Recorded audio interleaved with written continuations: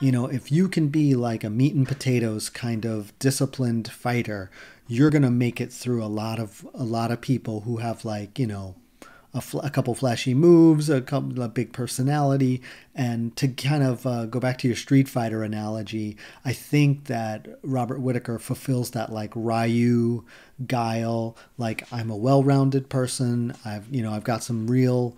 Um, you know, and, and he's got more than a one-two and a leg kick, but he, nothing he's throwing is ever like, I don't know. Uh, you know, I'm, I'm thinking about uh, you know what's a fight that really dis- not disappointed me, but you know this guy Kyler Phillips who fought earlier this year.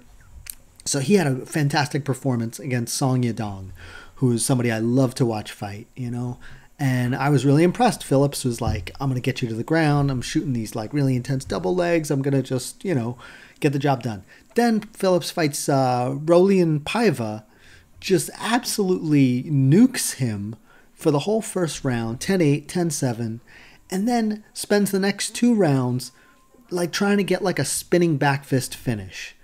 You know, like you had this guy, you just beat the living daylights out of him, and you're coming out here trying to get like your, your uh, highlight reel. You know, like you, you didn't do enough, and he ends up gassing himself out. And that's just one of those things that I could never in my life picture Robert Whittaker doing, like making these flailing, uh, desperate home run swing type moves.